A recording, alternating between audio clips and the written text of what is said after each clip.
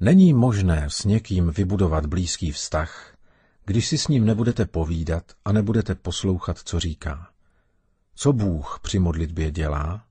Zjevuje sám sebe. Má modlitba na Boha nějaký vliv?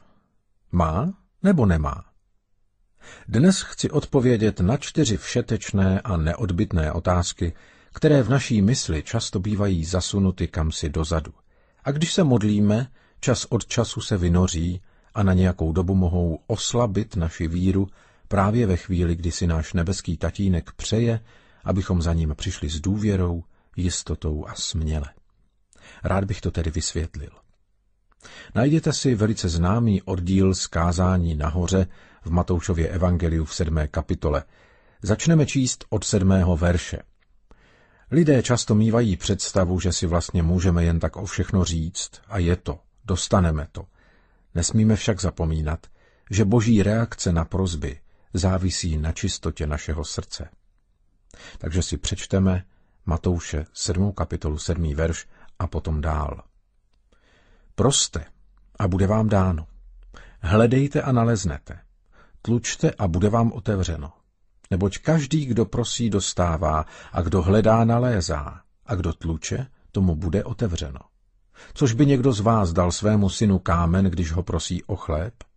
Nebo by mu dal hada, když ho prosí o rybu? Jestliže tedy vy, ač jste zlí, umíte svým dětem dávat dobré dary, tím spíše váš Otec v nebesích dá dobré těm, kdo ho prosí. Takový Bůh je. Je to dobrý Bůh, který chce svým dětem dávat dobré dary. A teď chci odpovědět na ony čtyři otázky. Čtyři oblíbené otázky, které jakoby ležely zasuté někde v pozadí naší mysli a občas nám tam způsobovaly problémy. Přál bych si, abyste pozorně poslouchali, aby vám nic neuniklo, abyste neslyšeli to, co si myslíte, že řeknu, ale abyste slyšeli opravdu to, co řeknu. Tady je první otázka.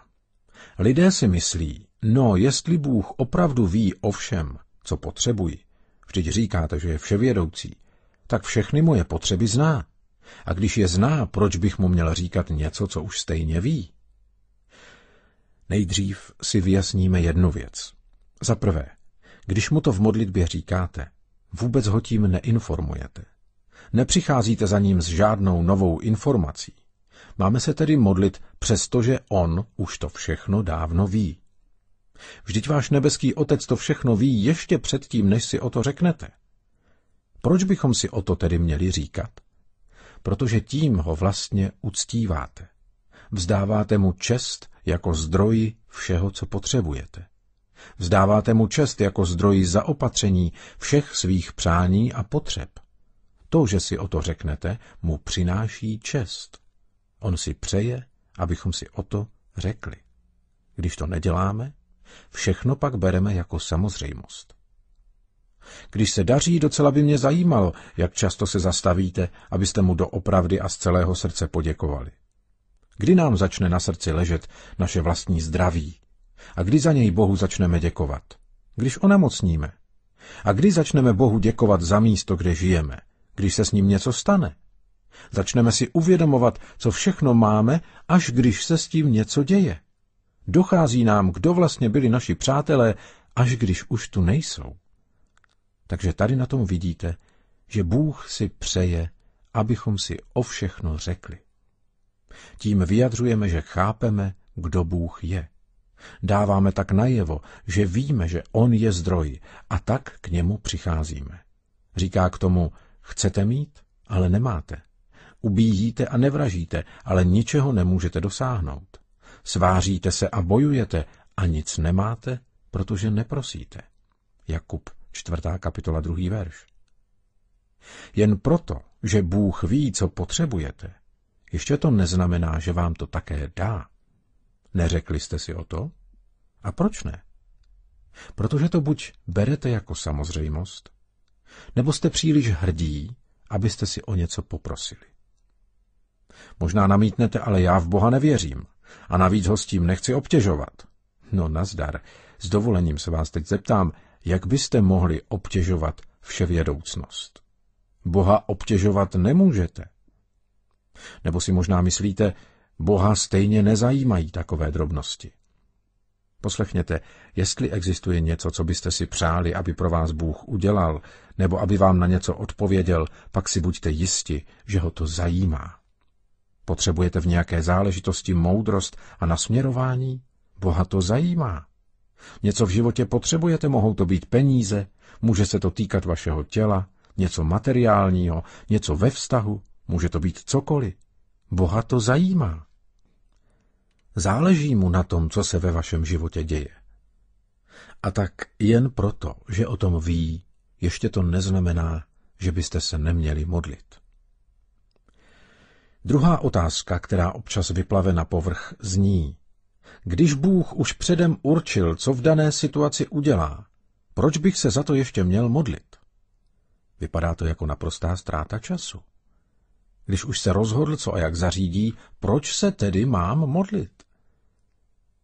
Existuje proto dost dobrý důvod, vlastně dokonce dva, proč bychom se měli modlit, i když Bůh už předem určil, co a jak v dané situaci udělá.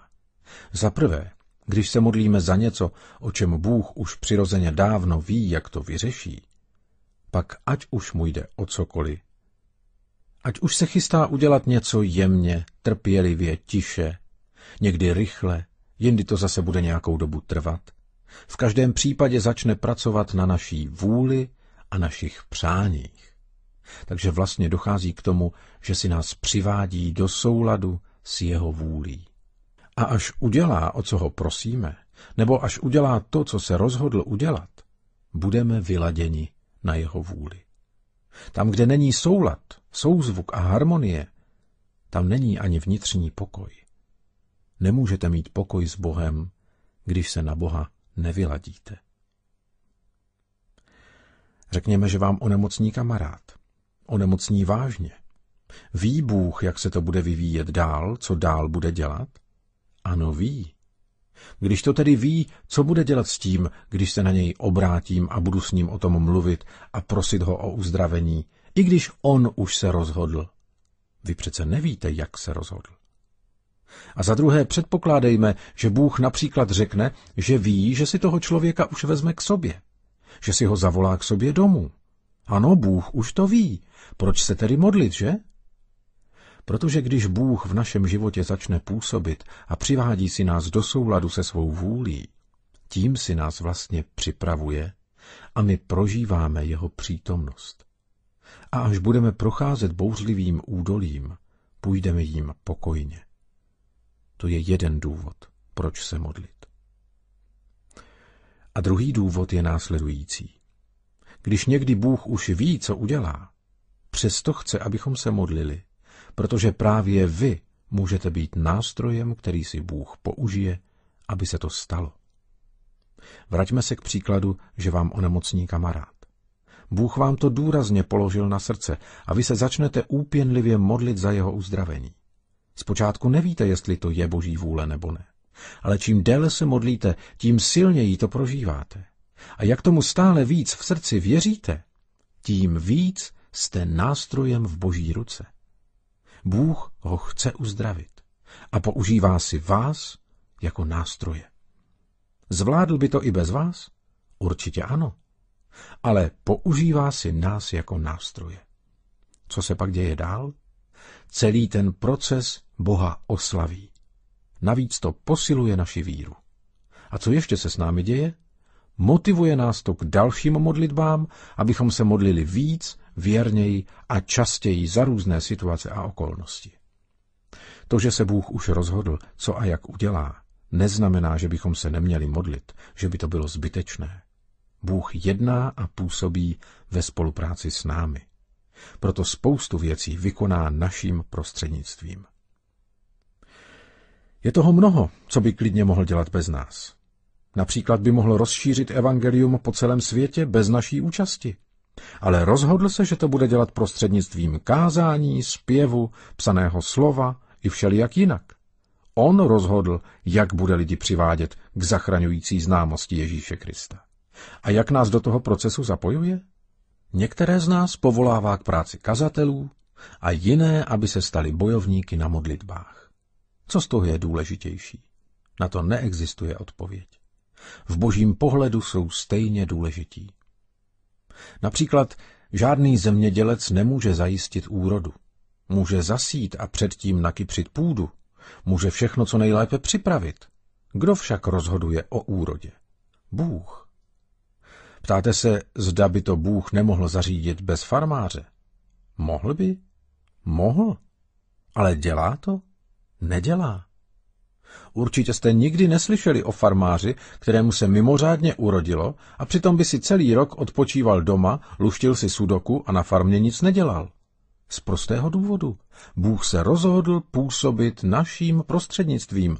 To je jeho způsob práce. I modlitba v sobě má tento úžasný aspekt. A my na to často zapomínáme. Teď přicházíme k další otázce, která nás občas napadne. Závisí úspěch božích věčných výnosů na našich modlitbách? Co je to takový boží věčný výnos? Jsou to prostě a jednoduše boží plány, které se rozhodl uskutečnit ještě dávno před stvořením. Jsou určité věci, které Bůh uskuteční v každém případě. Můžete se modlit nebo ne, Bůh to vykoná. Jako příklad takových výnosů můžeme uvést třeba, jak si vybral Abrahama, Izáka, Jákoba, jeho dvanáct synů, celý izraelský národ. Bůh si je vybral za svůj vyvolený lid a říká jim, tady to hodlám udělat. A přátelé, vůbec nezáleží na tom, co se děje ve světě a kolik úřadů bude zasedat a kolik válek bude probíhat, na tom vůbec nezáleží. Když se Bůh pro něco rozhodne, udělá to a naše modlitby tyhle věci vůbec nijak neovlivní. Když se Bůh rozhodl, že to tak udělá, tak to tak bezpodmínečně je. Jsou však věci, které určité podmínky mají. Například Bůh říká, a můj lid, který se nazývá mým jménem, se pokoří a bude se modlit a vyhledávat mě a odvrátí se od svých zlých cest, tehdy je vyslyším z nebes, odpustím jim jejich hřích a uzdravím jejich zemi. Druhá kniha Paralipomenon, 7. kapitola, 14. verš. Bůh říká, že když budou činit ze svých hříchů pokání, on je z nebe vyslyší a uzdraví jejich zem. Jaká je tady podmínka? Na čem tady boží jednání závisí? Když se budou modlit, pak Bůh říká, co se stane, tedy žádná jestli a nebo ale. A tuto boží reakci neovlivní žádná modlitba na světě. Ovlivňují tedy naše modlitby Boha v jeho rozhodování? Ani náhodou. Nemají na něj žádný vliv. Některé věci si Bůh udělá podle svého a za všech okolností. V tom ale náš problém není. Předpokládejme, že bychom se neměli modlit za věci, které Bůh už nějak rozhodl, za ty předurčené věci, o kterých rozhodl už dávno a se kterými stejně nemůžeme nic dělat. Jsme však odpovědni za svůj život. A když se nemodlíme, jaké to přináší důsledky? Upadáme do hříchu, ztrácíme odvahu, propadáme depresi, neneseme ovoce a náš život není plodný. Nemá takovou váhu, jakou by měl mít. Proč? Protože právě modlitba nás udržuje napojené na Boha. Jinak vyjádřeno, modlitba je jako elektrický drát, elektrické vedení. Když se modlíme, vedením se šíří moc či energie a když se nemodlíme, energii či moc prostě nemáme. A pak se divíte, jak to, že pořád upadám do hříchu. A proč nezvládám tohle či tamto? Proč jsou moje kázání tak slabá? A nebo proč je moje svědectví tak bezmocné? A jak to, že nerozumím tady tomu a nechápu tamto? Proč je tady toto takhle a tamto jinak? Položím vám jednoduchou otázku. Kolik času trávíte v přítomnosti nebeského tatínka při hledání moudrosti, vedení, směru a jeho moci ve svém životě? A také hledáním jeho vidění věcí, které můžeme najít v jeho slově. A také hledáním a čerpáním síly k tomu opravdu dělat to, o čem víme, že od nás chce. To je takové naše elektrické vedení. Když si ho odstřihnete, máte problém. Mluvím tady o tom, co naše vedení a spojení s Bohem narušuje, co způsobuje zkrat. Je to naše pochybování. No když to Bůh stejně ví, tak proč bych se modlil?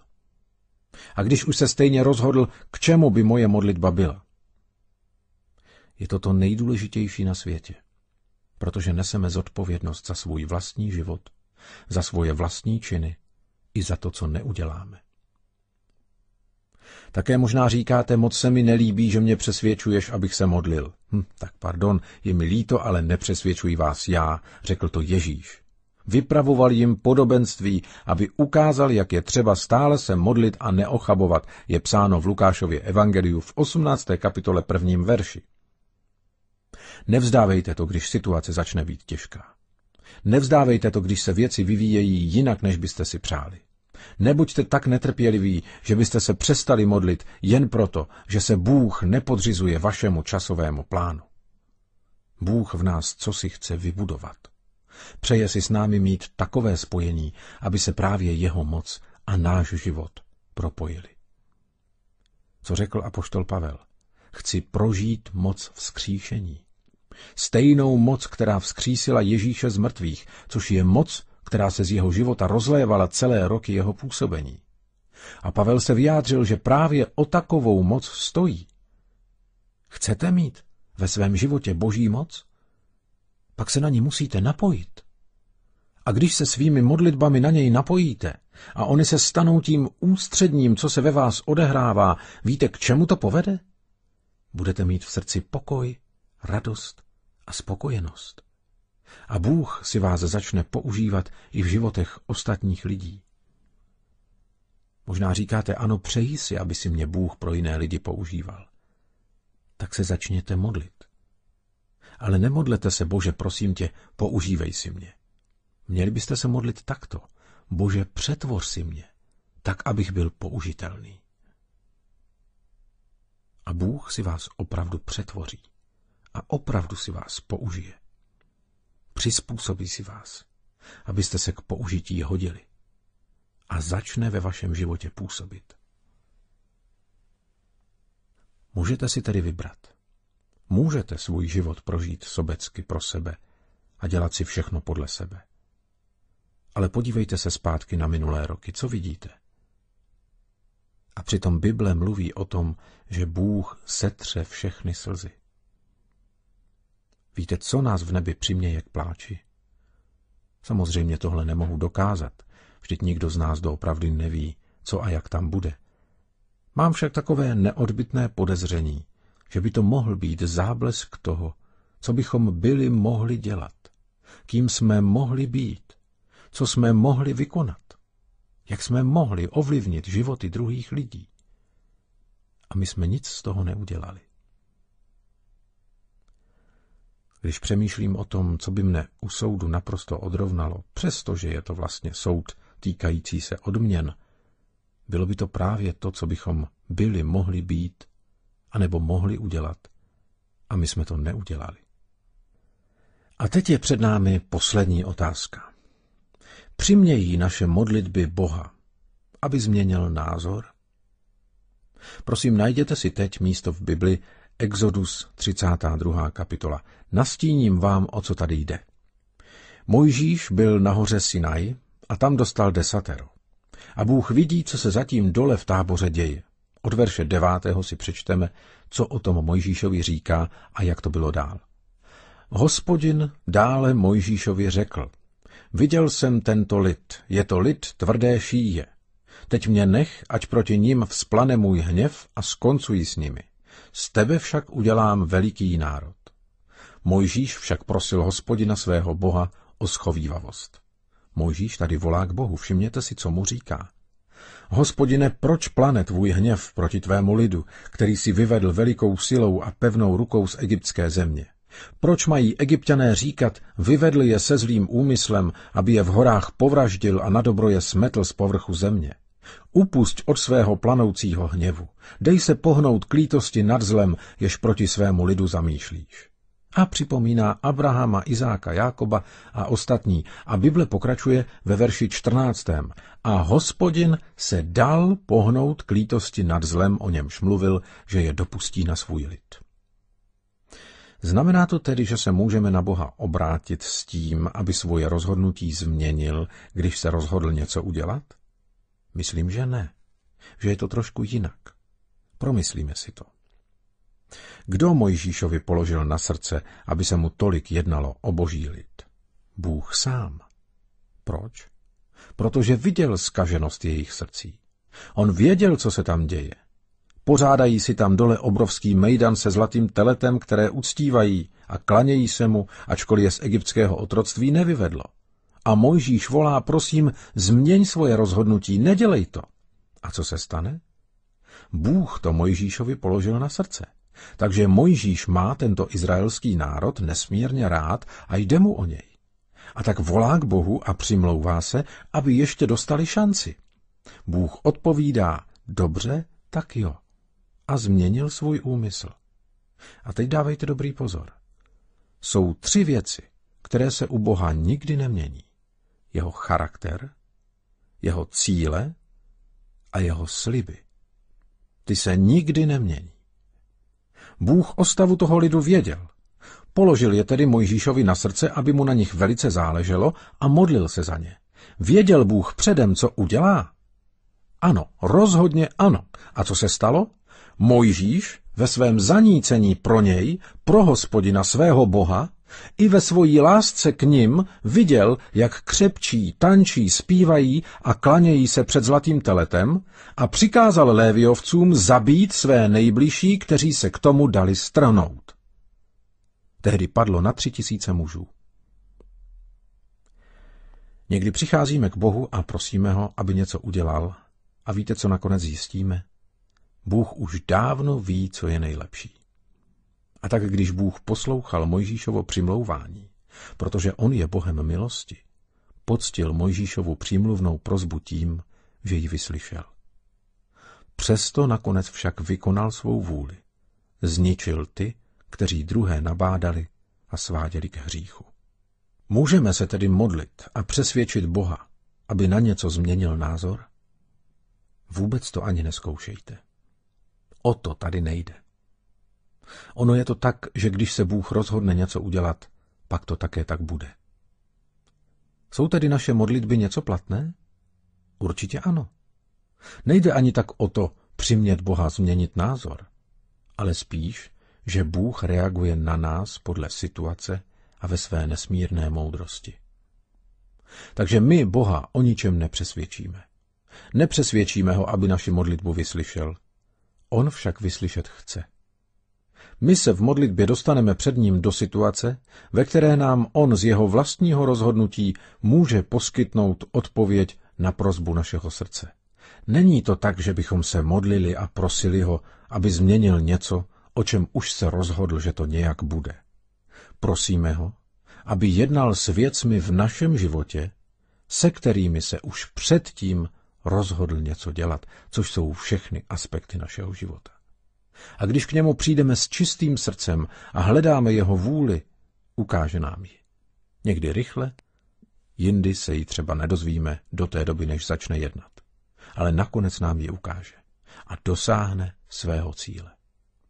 Dovede si nás do souladu se svou vůlí a cílem, i když si nic takového zpočátku nepřejeme. On se postará o touhy a potřeby našeho srdce, protože prostě takový je. Máme Otce, našeho milujícího nebeského tatínka, který je dobrý, mocný, miluje nás beze všech podmínek a je na nás hodný a laskavý. Záleží tedy na tom, jestli se modlíme nebo ne. Ano, velmi na tom záleží. Má cenu modlit se za svůj život? Rozhodně. A co modlit se za ostatní lidi a za přátele? Určitě. A co modlit se za lidi, které neznáte? Také to má cenu. Protože vás Bůh tak moc miluje, že je ochotný použít si vás, abyste ovlivnili život někoho dalšího. Předtím, než jste vy uvěřili Pánu Ježíši Kristu a než jste ho přijali za svého zachránce, víte, co Bůh dělal? Vyslýchal modlitby někoho, kdo se modlil za vás. To je boží milost. Nebeský Otče, jak jsme ti vděční, že s tebou můžeme mluvit a ty, že nás slyšíš. Všichni si jistě připadáme jako komár nebo mravenec ve srovnání s tebou. A dokonce ani tohle přirovnání by nevystihovalo to, jak jsme nepatrní. Ale ty si řekl, ne, vy jste moje děti a já jsem váš otec. Jsem tu, abych se postaral o všechno, co potřebujete a abych vás vedl. A nechal vás vyrůst tak, že budete jako můj syn. A chci si vás použít, abyste nesli ovoce a byli plodní pro Boží království. A jednou k vám zase přijdu.